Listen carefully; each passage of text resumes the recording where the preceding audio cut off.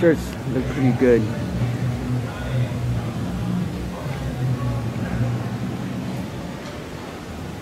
Two of the top DJs from nightclubs in downtown Chicago. So please welcome DJ Tecknique and DJ